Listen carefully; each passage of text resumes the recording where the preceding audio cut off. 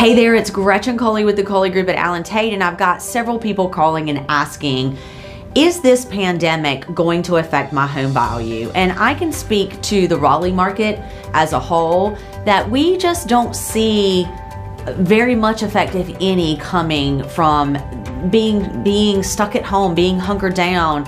Um, our housing market is strong and has been strong. We've got great job growth, uh, great growth overall, a great cost of living, and all of those things are not changing.